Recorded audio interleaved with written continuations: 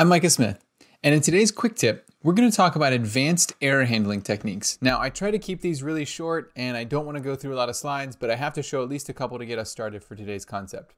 So we previously did a session on the basics of error handling, and that works great just to get you started with using the try, catch, and finally blocks. For this session, we're going to talk about some advanced concepts for error handling. So as a part of that, I want to introduce a sample process. And that sample process is what we're going to look at here in a second when we talk about the error handling approaches that were used to help solidify and fortify this process. So let's take a really small example where our bot connects to Salesforce, it pulls some unassigned cases from Salesforce, it extracts details from the case description, it does a lookup for uh, some of the data that it pulled from the description in third-party application, and then it reassigns the case back in Salesforce, right? So even if you're not familiar with Salesforce, hopefully that kind of makes sense to you. It's just a really basic process of, hey, we're pulling data from one app. We're going to have to look something up in another app so that we can make a good decision on what we're going to do in that original app. I want to talk about three advanced error handling techniques. I'll introduce them here and then we'll get into the code and I'll show you exactly how I would implement them. So the first is a global flag for debugging and logging. The second is a retries left loop concept. And then the third is enhanced notifications. So let's take a look at those and I'll call each of those out as we go through them. Let's go up here to the top of the process. So I've minimized some of the stuff of the process just because it's not necessarily relevant to this particular session. Um, kind of a bonus tip I'll say is that notice I'm using a try, catch, and finally block on the outside of my process, but you'll see I also use some inside of my process as well. So I can kind of block off areas. So you can use those as nested um, try-catch blocks. The first point we talked about was adding a global debug flag.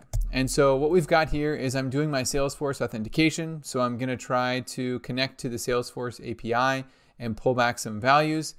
If I did so successfully, great, we'll keep moving on. What I've added here though is a debug step. And in that debug step, what I'm doing is I'm checking to see if a global value, which I've named advanced error handling bot underscore debug flag is equal to true. So if that value is equal to true, then my bot will automatically grab a screenshot of whatever the screen looks like at that current time, as well as log to file. Now, why that's important. Let's say that this bot is running in production and it's running headless, right, on an unattended client and I don't have access to actually log into that machine. I'm not supposed to be on there. I don't need to watch it. What I could do is actually use a system like this where I have lots of these debug steps throughout my process and then use a global value that are right here. Uh, I can use this global value to control whether or not my debugging should be on or off, right? So here I think I've got it set to off. I set it up as an admin. So um, it's, it's currently set to turned off, but I could turn it back on should I need to, right? And in that way, I could go through and actually have logging take place and screenshots without me having to repush code into production or anything like that. And I could turn that off once I'm done. Hey, we investigated what was going on. This application wasn't there. This access wasn't right. Whatever it might be, I can control that directly from global values. You could do a similar concept in version 11 just using the credential vault, but um, I would suggest using global values here for A2019. The next concept I want to discuss is the retries left loop. So when we talked about our process diagram that we kind of showed there, we said that we were going to pull back lots of cases from Salesforce. And when we do that, we would want to loop through each of those cases, right? Because I'm going to have to do something to each one of them. So that's my outer loop here.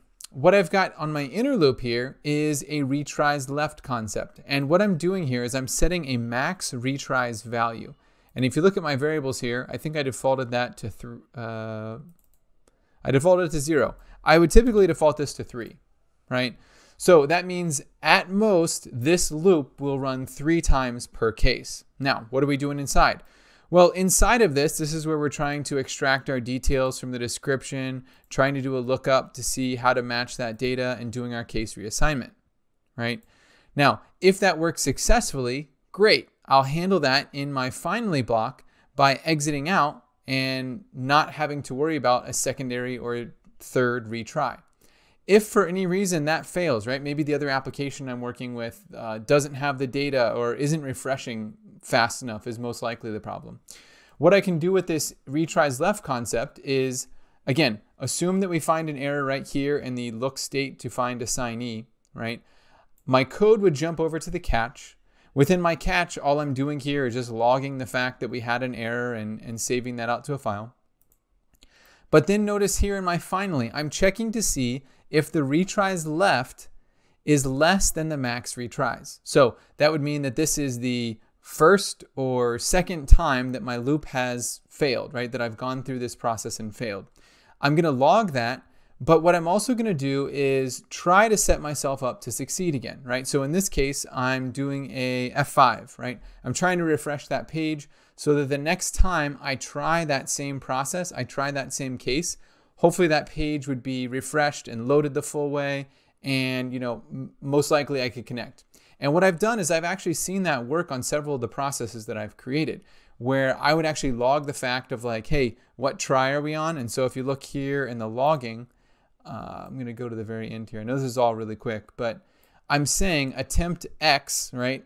The current loop of total loop tries available. And I'm logging that. And I could actually see in my audit log afterwards that, hey, it failed the first time, but the second time it worked. So the retry actually served a purpose.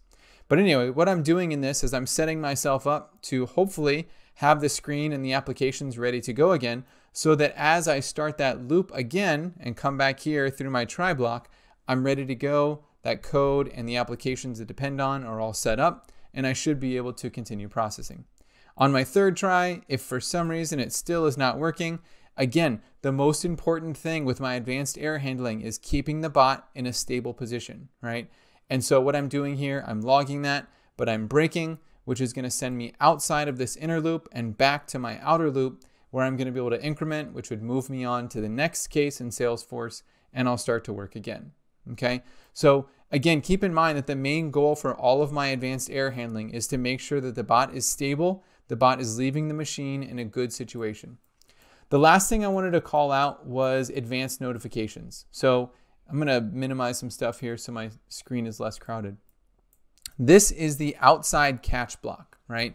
And so if I had an error that was unhandled anywhere inside of this, I'm going to come over to my catch block.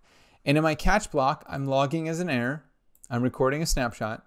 But I'm also doing one more thing, and that's contacting support. So here I'm using a Twilio package to send an SMS message, right? Now, I wouldn't want to be the guy who is has his phone number tied to this, but if you have an email address or a support email or a support phone number that this could be sent to, you could send a message to support to automatically indicate something is going on with this bot. And you could send a message, you could send that error message, you could send any information. Um, you could even, if you're sending an email, uh, save out a screenshot and send that as an attachment to the email.